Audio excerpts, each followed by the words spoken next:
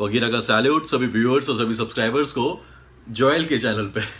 Guys how are you all this is Joel Emmanuel from Baroda Gujarat and welcome to my another vlog and welcome to my channel so ya guys this is a short update for all of you how many of you guys know Fakira भाई Fakira Riders hope everyone you might be knowing him Fakira Riders by the way those of you don't know he is Fakira Fakira Riders his channel link will be down in the description box He is a great traveler who rides maximum, you know बहुत ऐसे कम लोग हैं जो vloggers है motor vloggers sorry who rides maximum you know ये फ़कीरा भाई का तो एक राइड ख़त्म होता है दूसरा राइड तुरंत स्टार्ट हो जाता है।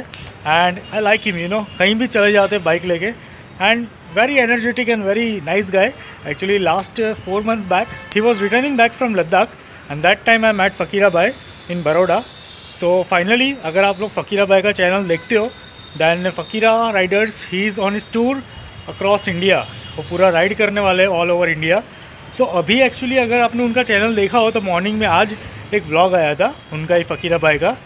And in that he told that he is going to Hyderabad first and then पूरा रूट कलकत्ता होके विल कम टू गुजरात ये राइड मोस्ट प्रोबेबली मैं जो है मुंबई से निकल के सबसे पहले हैदराबाद और हैदराबाद से पहले मैं जाऊँगा Calcutta.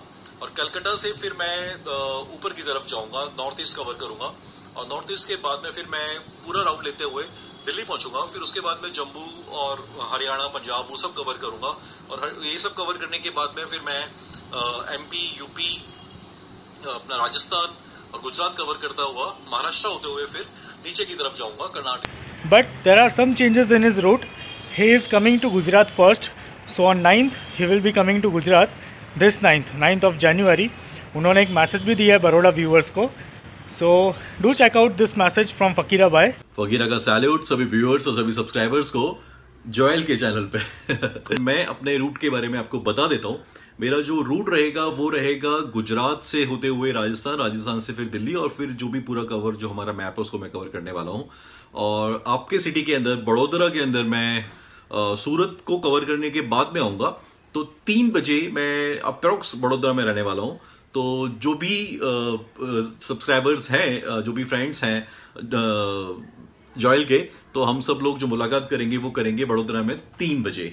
Three P M Vadodara keep riding with life be simple be natural hope now you know, guys, that when he is coming and what time we have planned a meetup.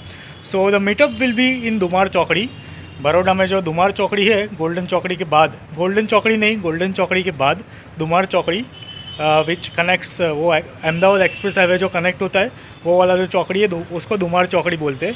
So my viewers those are my subscribers and those are following Fakira भाई do join this meetup he is coming here in Baroda finally मैंने उनको convince किया कि फ़कीरा भाई because you know last time मैंने he was returning back from Ladakh तो बहुत सारे लोगों ने मुझे बोला कि यार जोएल मुझे उनसे मिलना था।